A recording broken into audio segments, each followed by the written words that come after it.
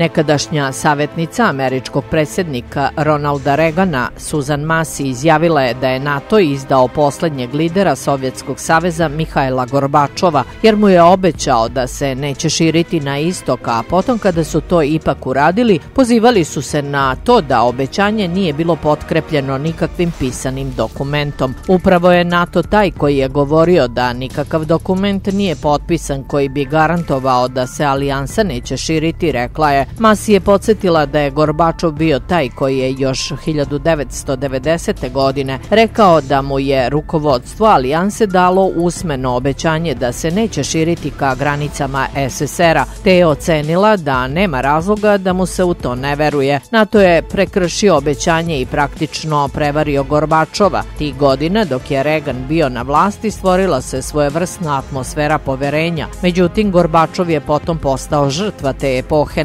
naglasila je. Masijeva je navela i da se situacija oko dogovora da se NATO neće širiti drastično izmenila dolaskom Đorđa Busha, starijeg na vlast, s obzirom da se tada celokupna administracija u Vašingtonu promenila. Također je dodala i da je sramno što se sve to odigralo.